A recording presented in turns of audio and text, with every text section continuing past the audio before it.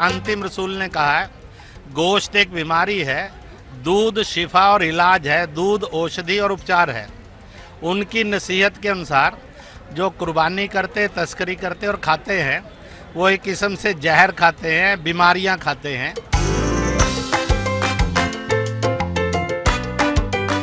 रिहान अरबी का शब्द है, उसी का हिंदी शब्द है तुलसी। उसके सुबह शाम दीदार करो, दर्शन करो ताकि जन्नत नसीब हो और जो जन्नत रोकने वाले दुश्मन हैं, वो ख़त्म हो।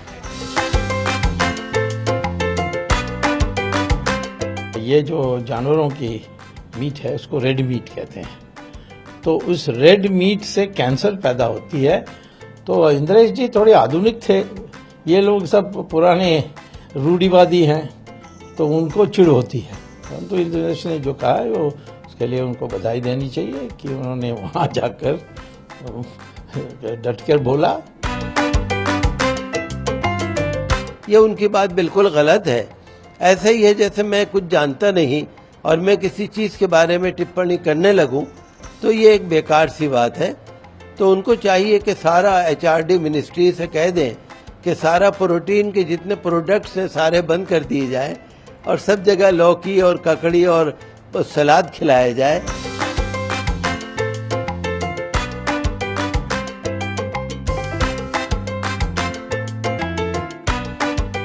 जो कुछ भी जीने के लिए हमें ग्रहण करना है, उस सब में जीव है।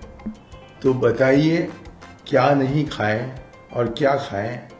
और ये इंद्रेश कुमार समझते हैं कि जामिया मिलिया सही जगह है, जहाँ की वो आरएसएस के प्रचारक बने अध कचरे ज्ञान वाले लोग जब सत्ता शीर्ष को निर्धारित करने लगते हैं तो अलग अलग संस्थानों में जाकर के ऐसे बयान देते हैं, जो न सिर्फ़ बेतुका है, बल्कि समुदायों, लोगों के बीच में खाई उत्पन्न करता है। ये ये दीवार बनाने के एक्सपर्ट लोग हैं। तो ये जामिया भी गए थे दीवार खड़ी करने के लिए।